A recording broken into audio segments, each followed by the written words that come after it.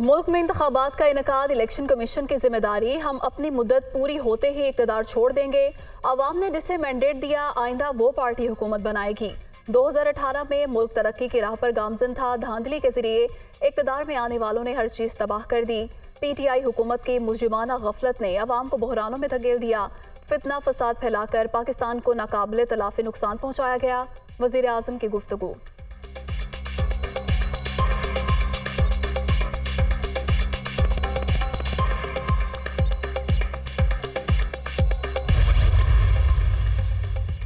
Monetary fund के साथ मामला तय पाना, बड़ी कामयाबी, कई माह से जारी कोशिशें रंग ले आईं।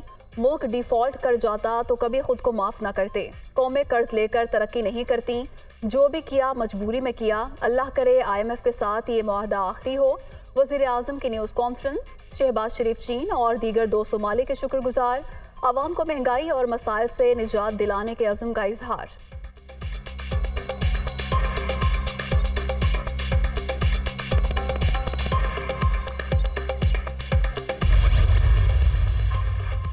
बहरानों में घिरी मीशत को बड़ा सहारा। आईएमएफ से माहदा तय, दस्तखत भी हो गए।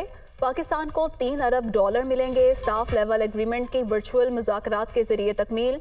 मुल्क पर बैरूनी अदायगियों का दबाव कम होगा।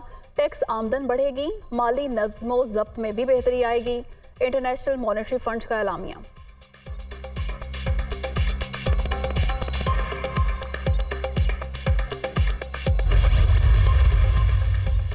तीन अरब डॉलर का कर्जा मुल्क में महँगाई की नई लहर का खदशा, पेट्रोलियम मसनूआत, बिजली और गैस के निरखों में इजाफे का इम्कान।